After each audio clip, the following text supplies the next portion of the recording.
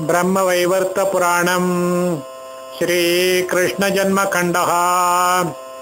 द्विचत्वारिंशोऽध्यायः। अरण्यकन्याया पद्माया पातिव्रताधिवृत्तकथनोत्तरं पार्वत्या पूर्वजन्मान्तरीय सती देहत्यागस्य कथनम् वसिष्ठ उवाच अतानरण्यस्य कन्या। शिशेवे भक्तितो मुनिम्। कर्मणा मनसा वाचा। लक्ष्मीर्नारायणं यथा। एकदा स्वर्णदीं स्नातुं गच्छन्तीं सस्मितां सतीम् ददर्श पथि धर्मश्च मायया नृपलिङ्गकः। चारुरत्नरतस्तश्च रत्नालङ्कारभूषितः।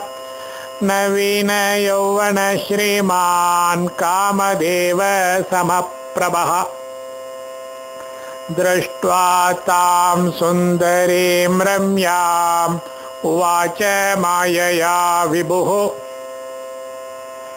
विज्ञातो मन्तस्तत्त्वं च तस्याश्च मुनियोषितः।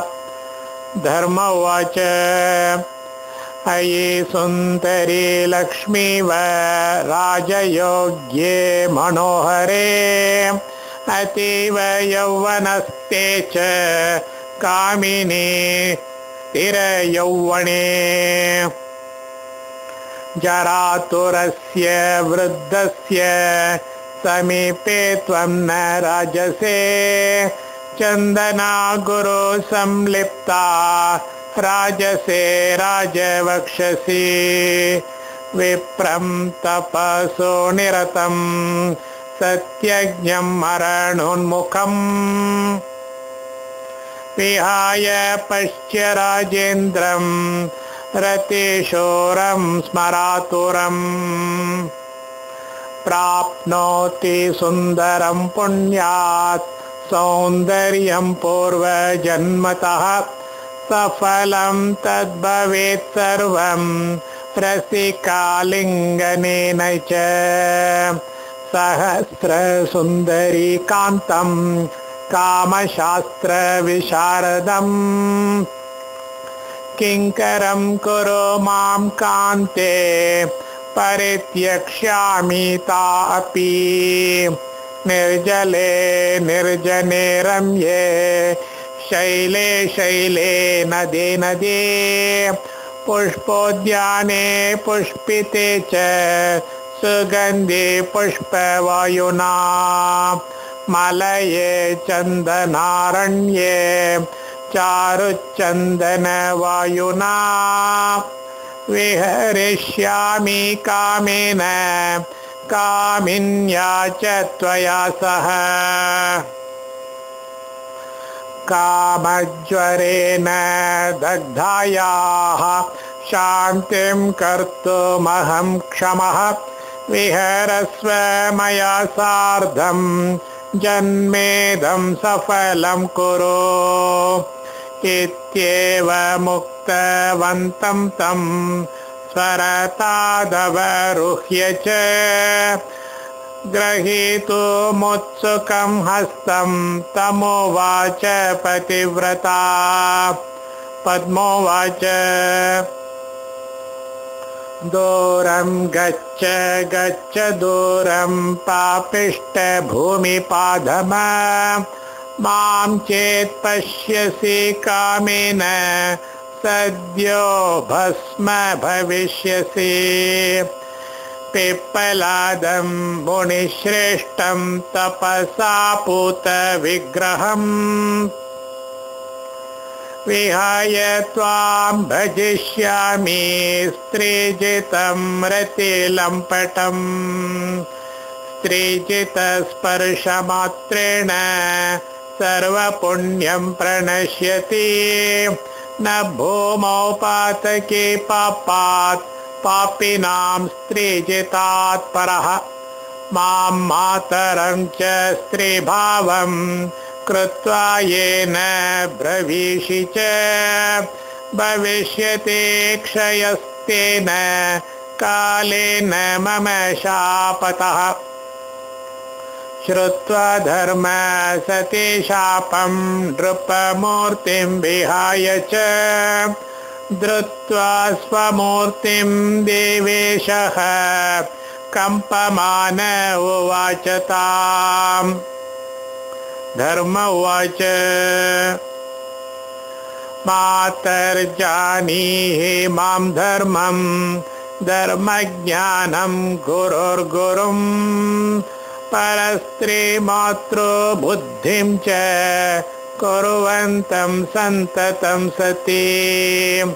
अहं तवान्तर्विज्ञातुम् आगतस्तव सन्निधिं युष्माकं च मनोजाने तथापि दैवबोधितः। कृतं मे दमनं साध्वी न विरुद्धं यथोचितम् शास्ति समुत्पतस्थानाम् ईश्वरेण विनिर्मिता धर्मं स्वधर्मं विज्ञातुं कालं कलयितुं क्षमः। विधातारं संविधातुं तस्मै कृष्णाय ते नमः। संहर्तुं यक्षमः काले संहर्तारं भवं विभुः। स्रष्टारं लीलया स्रष्टुं तस्मै कृष्णाय ते नमः। शत्रुं विधातुं मित्रं च सुप्रीतिं कलहं क्षमः। स्रष्टुं नष्टं तदेवं च तस्मै कृष्णाय ते नमः। शापं प्रदातुं सर्वाश्च सुखदुःखवरां क्षमः। सम्पदं विपदं यो हि तस्मै कृष्णाय ते नमः। प्रकृतिर्निर्मिता येन महाविष्णुश्च निर्मितः। ब्रह्म विष्णु महेशाद्यास्तस्मै कृष्णाय ते नमः। येन शुक्लीकृतं क्षीरं जलं शीतं कृतं पुरा। दाहि कृतो हुताशश्च तस्मै कृष्णाय ते नमः। अतितेजसमुत्थाय तेजोरूपाय मूर्तये। गुणश्रेष्ठ निर्गुणाय तस्मै कृष्णाय ते नमः सर्वस्मै सर्वबीजाय सर्वेषामन्तरात्मने सर्वबन्धुस्वरूपाय तस्मै कृष्णाय ते नमः। इत्युक्त्वा पुरतस्तस्यास्तस्थो धर्मो जगद्गुरुः सा साध्वीतं च विज्ञाय सहसोवाच पर्वत। पद्मोवाच, त्वमेव धर्म सर्वेषां साक्षी च सर्वकर्मणाम् सर्वान्तरेषु सर्वात्मा, सर्वज्ञ, सर्वतत्त्ववेत्। कथं मनो मे विज्ञातुं विडम्बयसि किङ्करीं यत्कृतं त्वत्कृते ब्रह्मन् अपराधो बभूव मे त्वं च शप्तो मया ज्ञानास्त्रे स्वभावात् क्रोधा विभो। का व्यवस्था भवेत् तस्य चिन्तयामीति साम्प्रतम् आकाशोऽसौ दिशः सर्वा यदि नश्यन्ति वायवः तथापि सा द्वेषापस्तु न नश्यति कदाचन। त्वं च नष्टो भवसि चेत् सृष्टिनाशो भवेत् तदा इति कर्तव्यता मूढा तथापि त्वां वदाम्यहम्। सत्ये पूर्णश्चतुष्पादैः पौर्णमास्यां यथा शशी विराजसे देवराज, सर्वकालं दिवानिशम्। पादक्षयश्च त्रेतायां भगवन् भविता तव। पादौ परौ द्वापरे च तृतीयश्च कलौ विभो। कलिशेषे शेषपादस्तवाचन्नो भविष्यति। पुनः सत्ये समायाते परिपूर्णो भविष्यसि सत्ये सर्वव्यापकस्त्वं तदन्येषु च कुत्रचित् यत्र स्थानं तवाधारो वदामि श्रूयतां विभो। वैष्णवेषु च सर्वेषु यतेषु ब्रह्मचारिषु पतिव्रतासु प्राज्ञेषु बाणप्रस्तेषु भिक्षुषु नृपेषु धर्मशीलेषु तत्सु सद्वैश्यजातिषु द्विजसेविषु शूद्रेषु तत्संसर्गस्थितेषु च। येषु त्वं सततं पूर्णो धर्मराज विराजसे युगे युगे तदाधारा यत्र पुण्यतमा अश्वत्थवटबिल्वेषु तुलसी चन्दनेषु च। दीक्षा परीक्षा शपथ गोष्ठ गोष्पद भूमिषु विवाहेषु च पुष्पेषु विद्यमानोऽसि शाक्येषु। देवालयेषु, तीर्थेषु, सतां शश्वद्गृहेषु च। वेदवेदाङ्गश्रवणे, जलेषु च, सभासु च। श्रीकृष्णगुणनामोक्त श्रुतिगीतस्थलेषु च। व्रतपूजा तपोण्याय यज्ञसाक्षिस्थलेषु च। गवां गृहेषु गोष्वेव विद्यमानो हि पश्यसि। कृशता तेन भविता धर्मतेषु स्थलेषु च।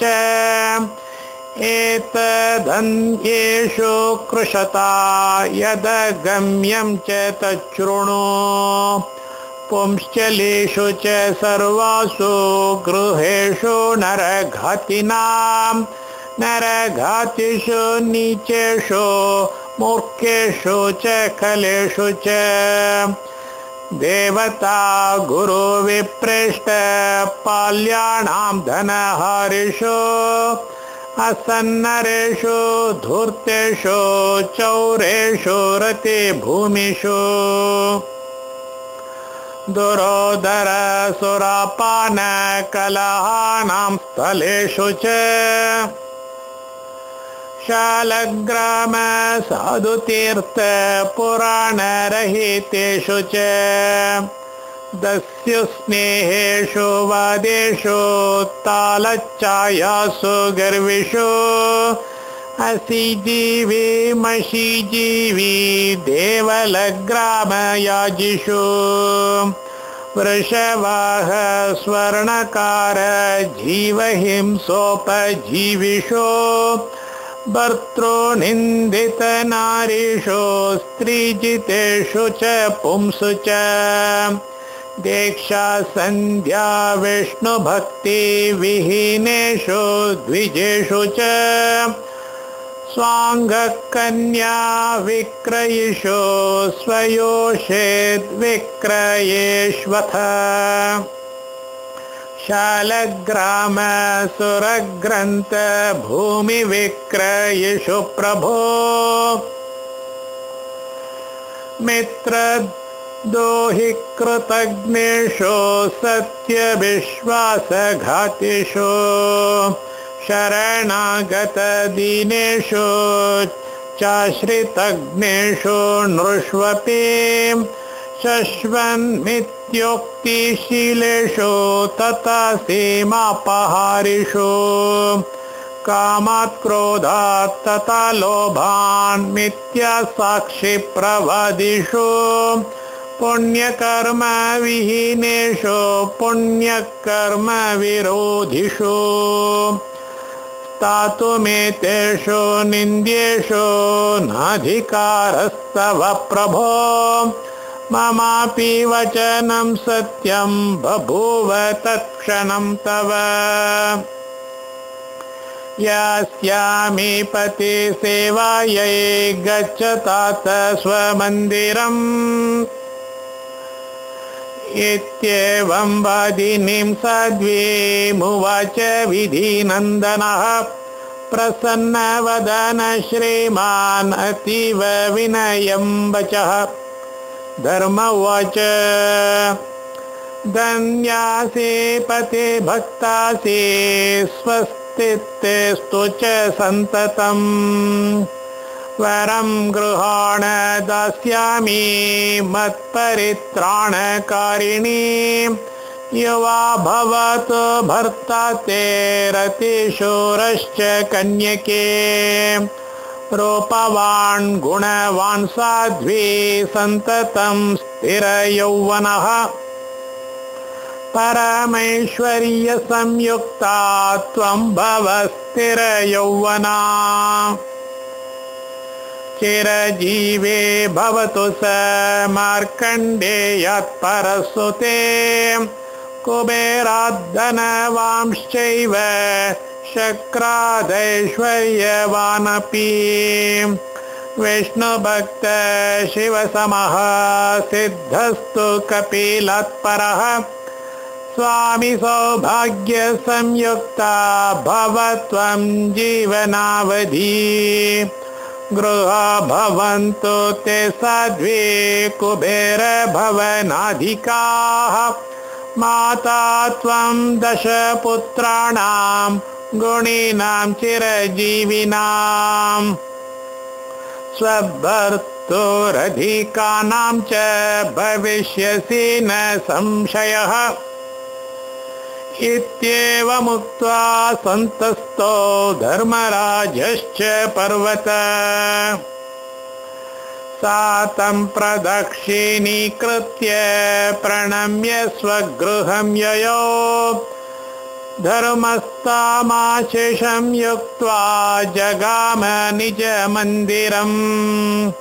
पतिव्रतां प्रशंस प्रतिसंसदि संसदि सारे मे स्वामिना सार्धं योनारहसि सन्ततम् पश्चात् बभूव सत्पुत्र, तद्भर्तुरधिका गुणैः। शैलेन्द्रकथितं सर्वम्, इतिहासं पुरातनम्। दत्त्वा नरण्य स्वसुतां ररक्ष सर्वसम्पदम्। त्वमेव कन्यकां दत्त्वा सर्वेषामीश्वराय च। रक्ष सर्वबन्धुवर्गान् आत्मन सर्वसम्पदम्। सप्ताहे समतीते च दुर्लभेति शुभे क्षणे लग्नाधिपे च लग्नस्ते चन्द्रे स्वतनयान्विते। मोदते रोहिणीयुक्ते विशुद्धे चन्द्रतारके। मार्गशीर्षे चन्द्रवारे सर्वदोषविवर्जिते सर्वसद्ग्रहसन्दृष्टे ह्यसद्ग्रहविवर्जिते सदपत्य प्रदेतीव पति सौभाग्यदायिनी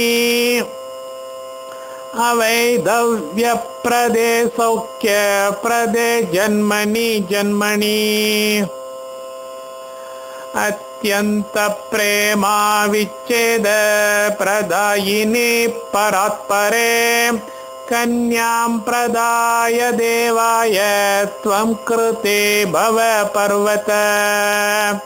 जगदम्बां जगत्पित्रे मूलप्रकृतिमीश्वरीं तेजस्वरूपां सर्वेषां देवानां देवपूजिताम्।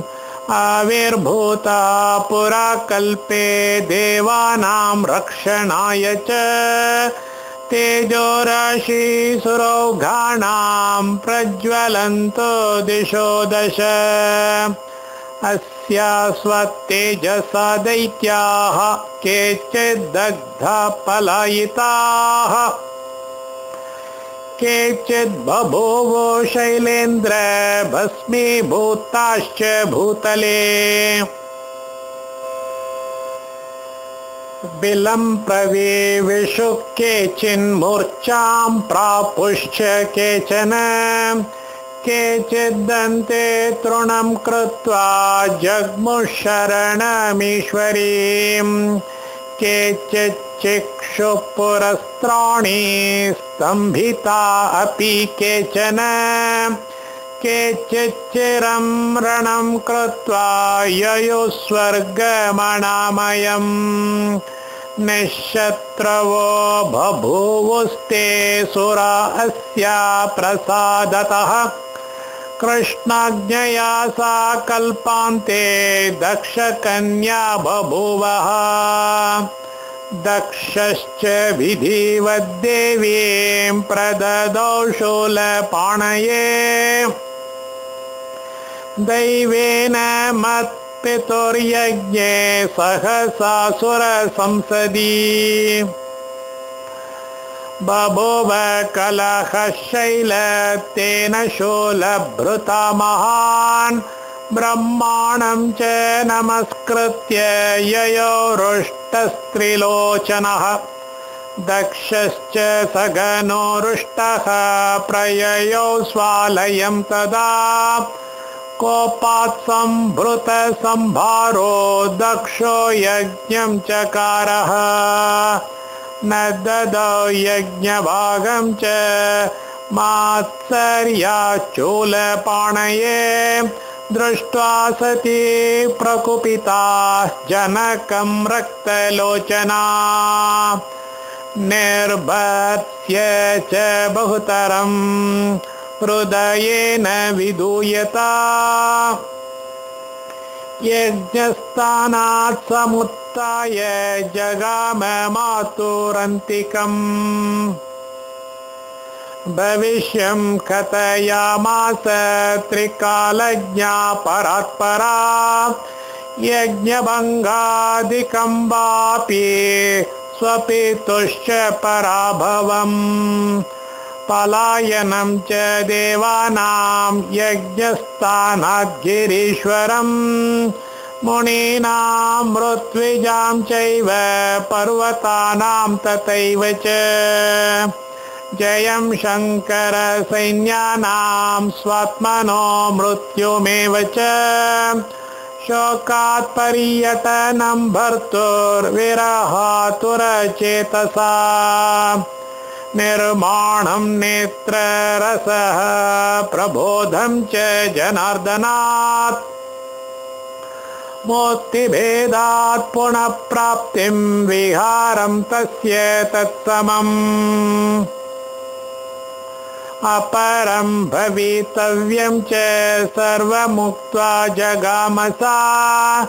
स्वमात्रा भगिनीभिश्च प्रतिषिद्धा च दुःखिता। बभूवा दर्शनायोगात् सर्वासां सिद्धियोगिनी। गत्वा सा जाह्नवीतीरं स्मृत्वा सम्पूज्य शङ्करम् स्मृत्वा चरणाम्भोजं देहं तत्याज सुन्दरी गन्धमादनद्रोणीस्थम् गन्धमादनद्रोणीस्थं शरीरं प्रविवेशः। सञ्जहार पुरायेन दैत्यानामखिलं कुलम् हाहाकारं प्रचक्रुश्च सुरा सर्वेति विस्मिताः। जग्मो शङ्करसेनाश्च देशयज्ञं विनश्य पराभवं च सर्वेषां कृत्वा शोकातुरापराः। सत्वरं सर्ववृत्तान्तं कथयामासुरीश्वरम्।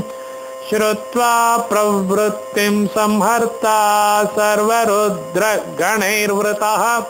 जगाम स्वर्णदीतीरं यत्र देवि कलेवरम्। इति श्रीब्रह्मवैवर्ते महापुराणे श्रीकृष्णजन्मखण्डे नारायण नारद नारदसंवादे सती देहत्यागो नाम। द्विचत्वारिंशोऽध्यायः।